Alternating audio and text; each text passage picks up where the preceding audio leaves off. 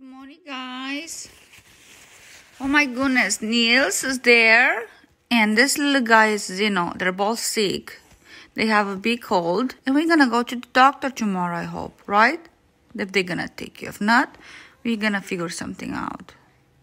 I love you.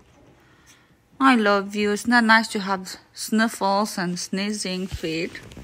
Niels, see? Niels? Hi, baby. I love you. Hi. Nielsie. Nielsie. He can't even breathe properly. I need to clean his face again. Hi, Zeno. I love you, Zeno. I love you. You're so sweet. Mommy loves you.